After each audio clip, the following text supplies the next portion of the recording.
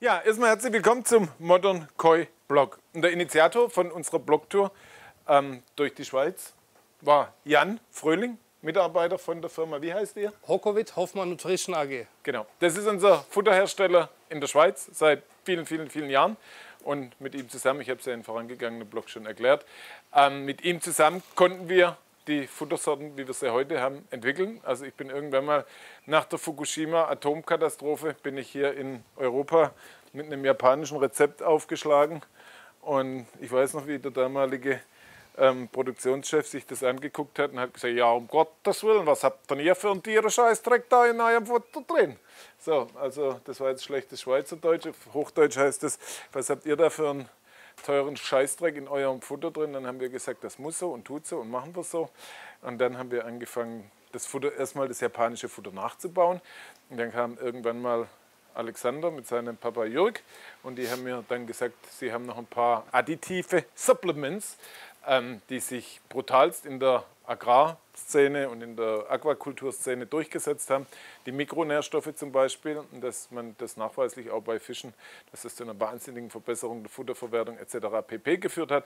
Und dann haben wir gemeinsam mit ihnen erst damals unser Black Label und Number One damals entwickelt, dann haben wir unsere ähm, Ideen noch mit eingebracht. Das hat dann zu den heutigen Nummer 1, 2, 3 Futtersorten geführt, die wirklich durchschlagend sind. So, und mittlerweile haben wir auch den Vertrieb für die Schweiz komplett ähm, Machen genau. wir es selber oder machen wir nicht selber, sondern machen es direkt von Werk ab. Und du bist ja bei Hokovit. Beschreib mal ganz kurz, wer bist du, was machst du, warum stehst du hier am Teich? Genau. Warum hast du den Fuß auf dem Stein?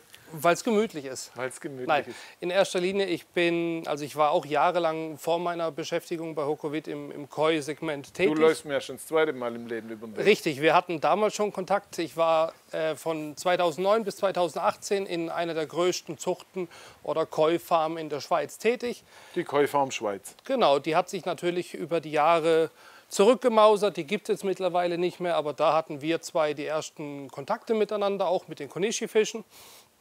Und jetzt seit 2019 bin ich für die Firma Hokovit eben im Außendienst im Fischfutterbereich tätig.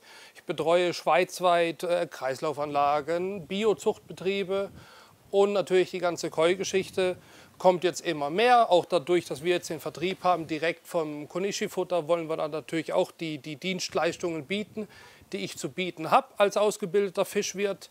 Kann an Anlagen gehen, kann Tipps geben, Umbauten, Sonstiges etc. Was du natürlich auch machst. Wir sind auch in enger Absprache immer miteinander. Und ich denke, da können wir schon ganz schön was erreichen. Und übers Futter selber müssen wir ja nichts sagen. Da wissen wir beide, das ist Weltklasse wirklich gut. Das muss einfach nur mal probiert werden und wenn, wenn man es mal vier bis sechs Wochen durchgetestet hat, dann sieht man die Ergebnisse und dann will man danach nichts anderes mehr.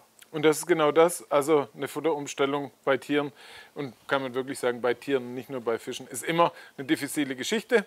Diffizil heißt jetzt nicht, dass man es nicht machen sollte, dass es für, die, für das Tier Stress ist oder so, sondern der Organismus muss sich daran gewöhnen. Aber gerade in der Umstellungsphase, je häufig ist es so, je stärker die Anzeichen sind, dass da was passiert, wie beispielsweise bei unserem Futter, dass der Kot mal für ein paar Wochen oder ein paar Tage schwimmt, dann sieht man, dass wirklich der Organismus sich auf was Neues einstellt.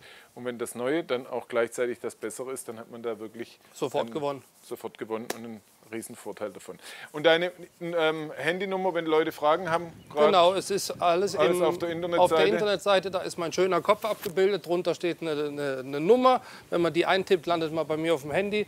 Kann jeder anrufen. Wie hieß der Filter für dein Bild, den ihr auf der Internetseite verwendet habt? Weil dann arbeiten wir mit dem gleichen Filter in dem Blog, äh, dass die Leute dich einfach erkennen.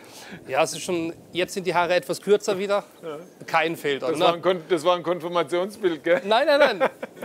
Naturschönheit. Naturschönheit, okay, toll. Apropos Naturschönheit, das vielleicht noch erwähnt. Der Markus hat, gerade als wir den Filterblock dann fertig hatten, dann habe ich nochmal gesagt, wie toll ich das finde. Da hat es ja gerade so gehagelt und wenn das alles nass ist, sieht es nochmal geiler aus, also mein Geschmack.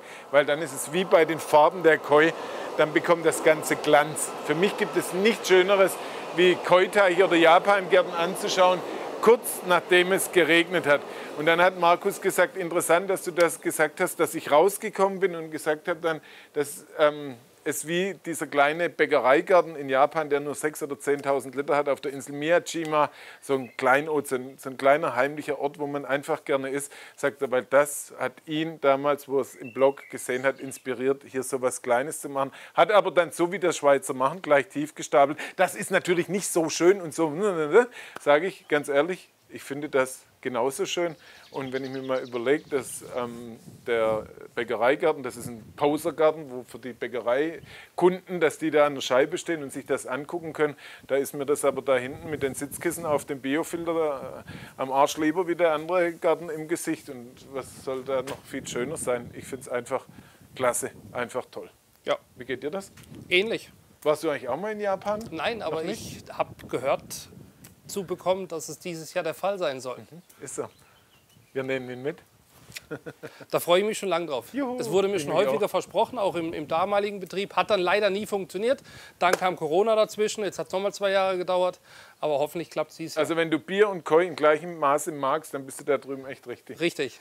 Das kriegen wir schon hin. Also Bier geht immer und Koi sowieso. Alles klar. Also, Jan Fröhling von der Firma Hokovit. Genau, vielen Dank. Machen Sie es gut und bis dann. Ciao.